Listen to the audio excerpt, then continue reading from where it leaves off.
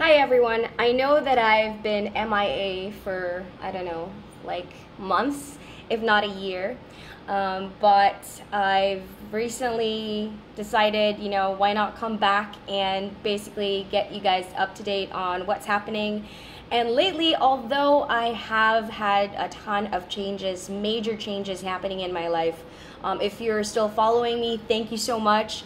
Um, if you are new to this and you've never seen any of my videos before, well, you'll soon discover all of the um, myriad of, of things that I've done in my life. And um, I have ADHD, so I'm usually conflicted with what to do at any given time because I'm always trying to do like 20 things at the same time, and there's just not enough hours in the day to be able to do the 50 things I want to do within 24 hours. And so it's a little confusing, I know, but right now I kind of want to really get in depth with um, this whole digital aspect of the world that we're living in. Um, we're talking about words like cryptocurrency, Bitcoin, blockchain, um, Web3, and all of that. So um, I have a friend who's helping me learn all of these things, and hopefully, in that process, I get to basically recap it onto a camera onto you. And if it's something that you too would like to explore and learn about, well, then why don't we learn together?